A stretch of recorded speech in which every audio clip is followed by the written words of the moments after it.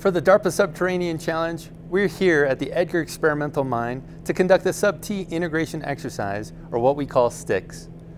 For the teams that were here to participate in STIX, we invited them to come along on a walking tour of the mine so they could get a glimpse of what the DARPA Sub-T Challenge has in store. For those of you who weren't able to join us at STIX, come along now. Let's go take a walk and I'll show you what the mine looks like inside. Before we head into the tunnel, we're going to pass through the starting gate here. The markers on the gate give the teams a specific point of reference to calibrate their navigation. We're coming into the tunnel through the Miami entrance.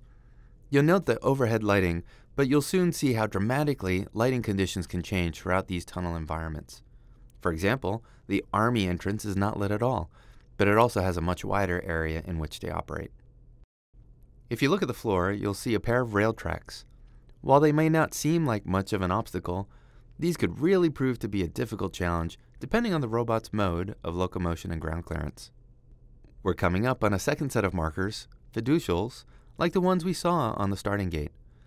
These are placed at about 25 meters into the tunnel for further navigation calibration.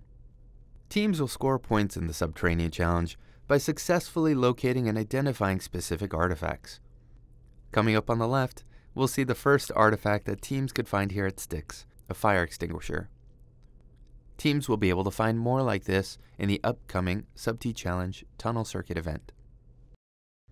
Some of these artifacts will be common among all three Sub-T Challenge domains, tunnel, cave, and urban, while others will be specific to a single subdomain. On the right is another artifact, this red backpack. You can imagine how identifying something like this would be of great value to warfighters or first responders. Some of the artifacts common among all domains are things like a cell phone playing back video and audio so it could be located by sound, or a thermal mannequin that's actually heated so teams could identify it by thermal signature. The tunnels here at STIX are long. We're talking kilometers of possible travel. And when we're looking ahead at the tunnel circuit, or tunnels where warfighters and first responders could be operating, those environments could be orders of magnitude larger. So we're going to go ahead and fast forward and highlight some other points of interest. There's another fire extinguisher on the right here. So far, these artifacts have seemed pretty obvious, right?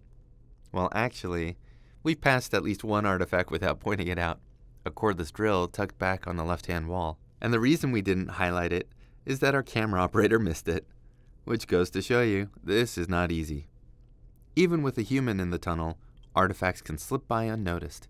And for the Sub-T challenge, we're having competitors do this with no humans inside the tunnels. Coming up on the right is one of the cell phone artifacts we mentioned earlier. It's mounted to an external battery pack so it can run all day playing a video continuously on a loop. If you've been following the Sub-T challenge and the videos we've been putting out, you might recognize the video we chose. Alright, we're zooming ahead again. Here's where things start to get a little more complex. This is the first intersection we've come across in the tunnel, and we're going to take a peek to the right. As you can see, those rails go away and the ground gets a little trickier. As the space gets more and more confined, that nice overhead lighting isn't around anymore. We're throwing on headlamps so you can see for the purposes of this video, but without those, it gets dark pretty quickly back here. We've got obstacles, we've got low clearance, We've got ground that is decidedly not nice and level. We've got quite a confined little space back here. This is a challenging environment for a human to traverse, and it gets even tighter. But here we're close enough to see the artifact, tucked away back there, another red backpack. Alright, so ducking out of here, did you see that dust kicking up? Here's another angle on the ground we just walked up. Lots and lots of places to get tripped up or stuck. Okay, so Let's pick up the pace again. And here we've come to another intersection, and we're heading right again. Don't be alarmed, that's not a person lying there, that's another one of our artifacts, one of the thermal mannequins we mentioned earlier. You can imagine the utility of being able to locate and identify a human in a disaster response or search and rescue type of operation. Up to this point, all the artifacts we've seen here have been at the ground level or low on walls. But one of the things that makes tunnels an especially challenging environment is their verticality. It's not just about front to back, side to side, but also up and down. Take, for example, this ladder, which leads to a small alcove that contains another artifact. Tunnels can consist of multiple levels, each spanning vast distances. That's another point of consideration for teams as they plan for the Sub-T Challenge tunnel circuit. And moving on, we're going to pass by another cell phone artifact, move through some different lighting conditions, and from here, we're leaving the overhead lighting behind for a while. Again, we're using our headlamps for the video and safety, but without those, it's basically pitch black. Another big challenge with these tunnel environments is dust. It can hang around in the air, inhibiting vision or obscuring sensors. In many cases, merely traveling through an area can kick up dust, compounding the difficulty as you go. At various points throughout the tunnel at STIX, we actually installed fog machines like these to simulate those dusty or smoky environments. You'll also see just behind the fog machine another artifact, a cordless drill, which emphasizes that it's not just about being able to move through the environment, but also to perceive, locate, and identify objects of interest.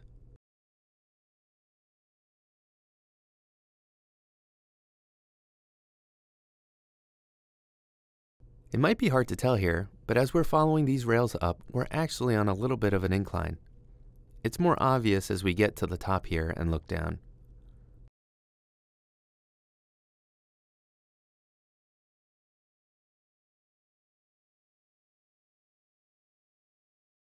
Depending on the direction you're coming from, that little ridge could prove to be quite a hurdle.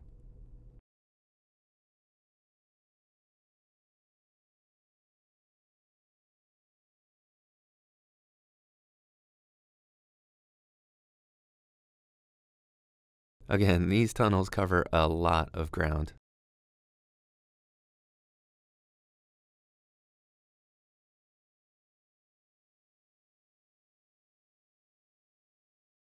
It's not really obvious on camera, but at this point, we're heading up a pretty significant incline here in the tunnel.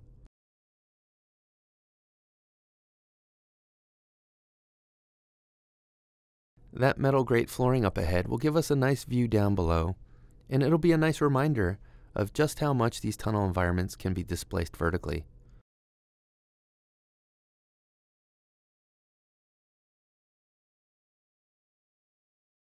If you look closely, you'll see another artifact down there, one of the cell phones.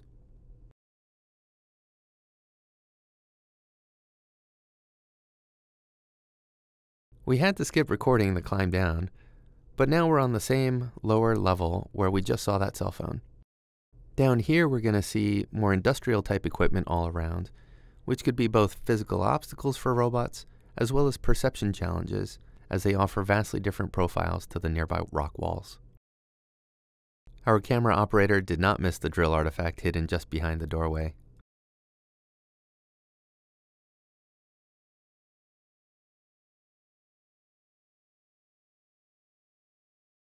Off to the right here is a small room, which seems like it would be a good place to hide an artifact.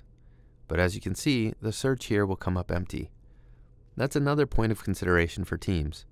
How do you weigh when it's time to move on versus looking for another 10 seconds, 30 seconds, 5 minutes?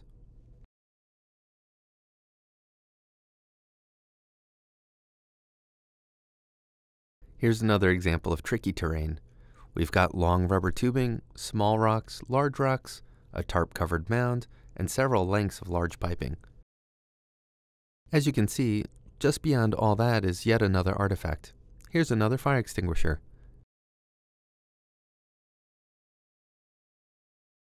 And on the way back, we'll take a closer look at just how tough that terrain is.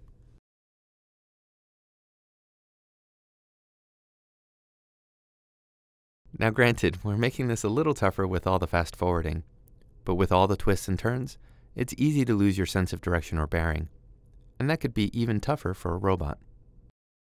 I'm just going to let the camera roll for a bit, so see if you can spot some of these artifacts before the camera does.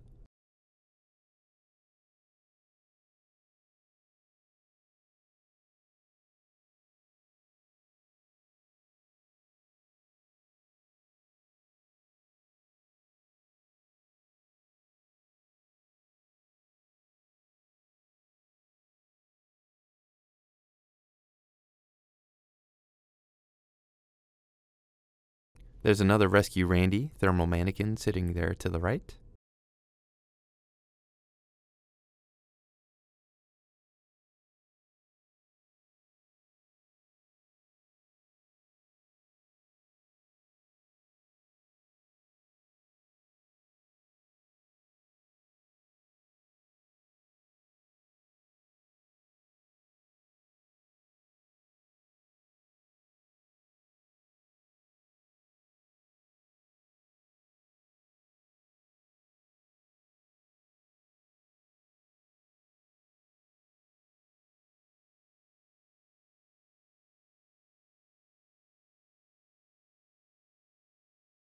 Here's a closer look at the video playing back on the cell phone.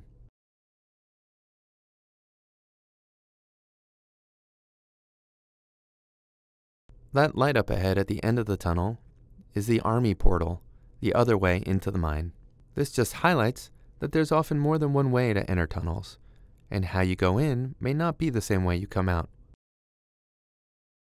Up ahead, you can see some members of the DARPA team who are collecting reference datasets that could potentially be used by competitors to help benchmark their approaches. You can see the same type of distal fiducials here that we saw back over on the Miami side.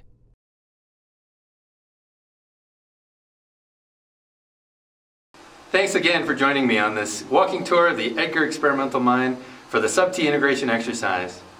We're very excited about what we've seen here at STIX and even more excited about what's to come in the upcoming circuit stages for the DARPA Sub-T Challenge. Thanks again.